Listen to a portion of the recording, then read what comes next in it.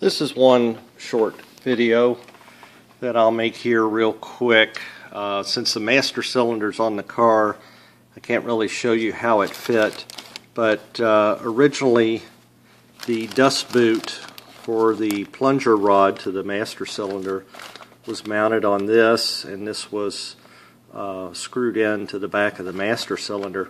I talked with Dr. Differential, and he said, well, I have never put that boot back on and uh, most people that I've talked to uh, leave this boot off. Anyway, reproduction dust boots are available. They're almost $40 on eBay. Um, this was the original one, and uh, what I did is I, I scrubbed it down with Simple Green, and it's been soaking in this Ziploc bag uh, with 303 protectant. And uh, it looks like it brought it back to like new condition and uh, it's very soft and I'll wipe it down with a terry cloth before I install it but I, I'm going to go ahead and use that boot. If you look here at the master cylinder plunger rod um, this is the uh, plunger retainer uh, piece.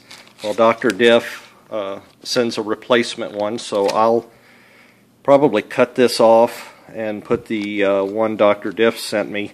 And this will be an inaugural event of the first zip tie that I know of that will go on the Roadrunner. So all you roadkill fans uh, will have to have a, a party for the very first zip tie that I know of go on the Roadrunner. So I'll, I'll cut this retainer off, slide the boot on, uh, loosely put the zip tie on until I get the other retainer. Uh, the instructions say put a little bit of that white lithium grease on here. I'll use a little bit of uh, silicone paste when I put the new retainer piece in and uh, the boot. And then once I get the rod installed and, and the pedal put back together, I'll zip tie this down to kind of hold this boot in place. And this is a quickie video and hopefully Tim can edit it into the other ones. I'll be making a bunch of quick videos between now and the time I get the, the brake bleeding started. Thanks for watching.